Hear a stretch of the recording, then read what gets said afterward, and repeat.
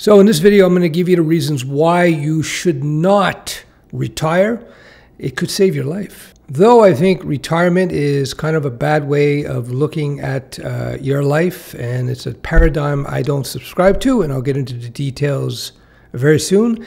That said, the younger that you consider retirement, the better off you will be. So, why you shouldn't retire? If you look at stats, people uh, tend to die shortly after retiring. I don't know what the stat is today, but I remember a long time ago when I was a young whippersnapper, I was looking at this whole thing. And the, um, the idea of it was sold to us was that you uh, study hard, you develop skills, you get a good job, and then you work at that job in that field, and then when you retire, you can do whatever you want. So a lot of people would do that and they would pursue careers that they don't really like too much. They kind of stand it, but they don't enjoy it. With the hope that they'll earn enough so that when they hit 55 or 65, whatever it is, that they'll have enough money to, be able to retire and finally be able to do what you want. Now, when I was quite young, I looked at that and I said, that doesn't make any sense to me, especially considering a lot of a lot of times people will die shortly after retirement for whatever reasons. Also, as you're working towards retirement, who knows? You could die, you could have uh, health issues. Fact of the matter is, enjoying life is a lot easier when you're younger that, than it is when you get older. I'm not saying that you can't enjoy life when you're older, and you can if you exercise and eat well and you have a healthy lifestyle, for sure. But, you know, nobody's going to argue that it's not easier when you're young and healthy and full of piss and vinegar, right? So I was quite young and I thought that whole idea of working your entire life at something you don't really like so that eventually you can do something you like when you're much older, I thought that didn't make any sense to me. So I said, how about you figure out what you do like and try to make money, try to make a career out of what you like to do. That I thought was a better idea. So it gets a little bit more fine grained than that as well. I took it to a new level. Instead of thinking in broad terms, I like to be a developer. I like to be a React developer. I like to be a lawyer. I like to be a fireman, whatever. Instead of thinking in broad terms like that, I said, let's get a little bit more precise. Let's consider how you like to live your days. Do you like to get up early? Do you like to get up late? Do you want to get dressed up and go into work every day? Or do you want to work at home? Do you want to work with large groups of people or alone? Do you want to work outside or do you want to work inside? You want to work with your mind or you want to work with your body? Do you like to take breaks? Do you want your job to be done at five o'clock and that's it, you, you're, you're off? Or do you want to be able to take breaks during the day? These are all questions you should be asking yourself, like really that finely detailed in terms of how you want to live. So, in the context of software development, I'm assuming a lot of you watching this are interested in software development. You have to ask yourself do you want to go corporate, big corporations? And what that implies, Do you want to work for small corporations? Do you want to do startups? Do you want to do freelance? These different paths within software development suggests a different type of work life, a type of work environment. So you got to look at all these different things as well. So first thing you do, if you're looking at changing careers or starting your career, consider my suggestion, consider how you like to spend your days, as I just suggested. Map that all out. If you like flexibility, you like to have control of your time, freelance might be for you. Starting a business might be for you. Working for a smaller company, which will give you more likely anyway to give you more flexibility in terms of your time. On the other hand, if you want to be able to clock out at five o'clock, you don't want to have to work weekends, uh, you want a very regimented and controlled work environment, maybe medium, larger organizations might be good for you. And languages will affect that as well. Whether you do C, Java or C Sharp, that's usually big enterprise. If you do JavaScript, PHP, that can tend to be smaller, medium sized businesses yada, yada, yada, yada, yada. But this video is more about retirement, why you should not retire. Instead of thinking about finding a job so I can eventually retire and do what I want, I say flip it. figure out how you want to work, what you want to do, what what's fun for you, and do that.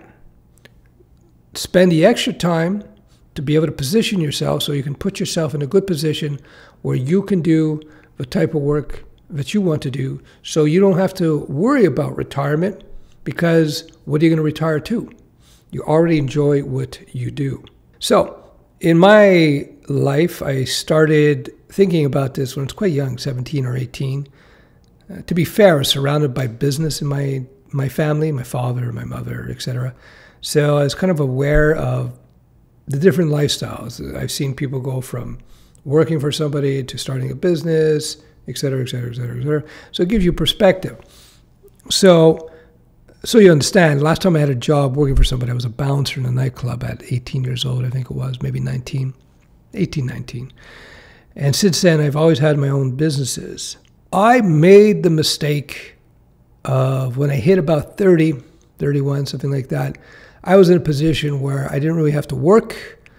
I didn't fall ass backwards into a ton of money, but I was in a situation where I was very comfortable, where I do an hour of work a week, and I would make, be making more than most people my age. So, because when I was quite young, I almost died, I said, you know what, I'm just going to take a ease for. I took it easy for 10 years, but it gets boring after a while. Going to coffee, going to get coffee, going to brunch, it gets lame after a while. So I started getting back into things. That being said, as an entrepreneur, as a freelancer, you have a lot of choice, you have a lot of power, you have the freedom as a freelancer to be able to decide what type of jobs you want to take on, what type of coding. For me, it was coding because I think coding is uh, a superpower. I think it allows you to do all kinds of different things. You, you know, in coding and in software, there's all these different types of software development. And it's so diverse in many respects that you can do software development, you can do coding that's that's better for the visually inclined. You can do software development for people who are more math, if you will, uh, detail oriented. You could do software development where you can do more architectural work. So there's a lot of flexibility there in terms of the type of coding you may be doing that will match your personality type. So you got to look into that a little bit more. I teach the web stack because allows for the broadest range in terms of the types of coding you can do visual, macro, architectural, detailed. Um, it also gives you the widest range in terms of the types of jobs you could do in terms of you know small medium big large enterprise et cetera et cetera et cetera et cetera so going back to the original topic of this video why you shouldn't retire instead you should consider retirement as early as possible so that you can plan out your life so that your day to day work is actually your hobby. Make your hobby your work or make your work your hobby. It becomes a lot of fun. So, in my experience, I've done this my whole life, even with bouncing. I did a lot of martial arts, so for me, being a bouncer was like I could put my stuff to the test. I admit it. That's what that was the situation. So I, I enjoyed bouncing for the couple of years that I did it. Um, and then I went on to other things where all other businesses, which were, well, bouncing was a business, but I, that was my last job. But when I went into businesses afterwards, thereafter, everything that I've done was all related to my interest at that time. So I've always produ- pursued businesses that were reflective of my interests and my hobbies at the time. So it was always fun but I would pivot, I would change. It's normal that after X amount of years, it could be two, it could be 10, who knows, that you might have different likes and dislikes. Your lifestyle choices may change. You, you move on. You know, when you're younger, you may like certain types of music. When you get older, you like other types of music. Same thing with your career. But the underlying message here is that you should think about your life in turns your, your day-to-day start with the fine-grained analysis as i suggested at the beginning of this video where you you think about how you li- like to live your days and then you see how you can match that to uh, to a type of work or a type of job or a type of business that uh, would be fun for you. So do i think retirement is bad? No. But i know several friends who are now retired and as i did uh, a long time ago they just end up pivoting to something they like. So why not do it initially? Why not do it now? Why not, as you're listening to this video, no matter what age you are, why don't you start considering your lifestyle, how you like to live, and then start developing whatever you need to develop skills, contacts, connections, whatever you need to do to be able to position your life so that when you wake up in the morning, it's just fun for you. So retirement becomes something you don't really consider because why would you retire from something you like to do? So, case in point, the last decade or so, I've been working with a whole bunch of districts across the world, mostly in North America, and I've uh, developed and delivered a platform, an educational platform and curriculum that uh, optimizes uh, teaching code in the classroom. I've been doing this for over 10 years. I really enjoyed the process. It's like if you're building any software, it's uh, it's a very creative process. Uh, you have to be nimble. Uh, you learn new things about uh, how people, what people need, and how they like to work. And it's been a lot of fun. Recently, though, in the last couple of years, I decided to experiment with this mentoring program that I do now. And uh, I started off very slowly to see if I like it. Again, to see if I like that lifestyle.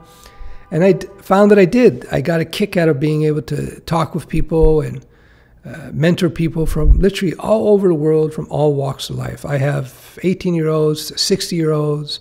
I have people who've never coded before, and I have people who have who are chief uh, technology officers in businesses. So it's quite a quite a lot of fun. It's quite a lot of fun. So if you would have asked me 10 years ago I was going to get into mentoring, I would have said I wouldn't would even consider it.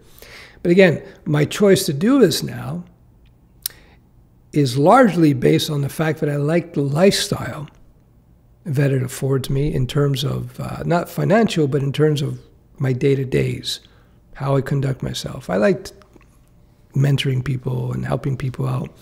So it's it's a different game than providing a, a, a curriculum and uh, software for school for districts and schools and so forth. Uh, although it is related, anyhow. I just say I just state that as an example, and you never know. Maybe in five, ten years, maybe I'll decide to pivot to something else. You never know. You never know how it is. Again, what I do is my hobby. Uh, when I do videos like I'm doing here, this again is another expression of my hobby. I wanted to get into cameras. I said I'm going to get into cameras, so I'm also do YouTube videos as I learn how to work with cameras and get nice blurry hands like this. And uh, so it's fun. I don't look forward to retirement because I'm doing what I want to do. And that's my suggestion to you guys. Don't think about what will happen in 10 years or 20 years. Think about now Make your life now fun. At the same time, don't ignore basic principles of personal finance. I always suggest have at least six months to a year of emergency FU money. So you have choice. Number two, you should be saving like a mad person so that you don't have to uh, depend on getting a job or working to be able to pay the bills. That's huge. Save Like a Mad Person. You can watch those videos because when you do those two things, well, you do FU money, save like a mad person, uh, and within four to five years, you can find yourself in a position where you don't have to worry so much about working. And third, you make it so that your day to day is not a grind, it's fun. Then you uh, have ultimate freedom, psychological freedom, real freedom. It's pretty good. If you don't know me, my name is Stef. I am otherwise known as Uncle Stef. You can check out UncleStef.com. I mentor people in coding, software development, and careers. I teach people how not only how to code, but how to turn that code into money making skills, become a freelancer, get a job, etc., etc. Check it out. Links below.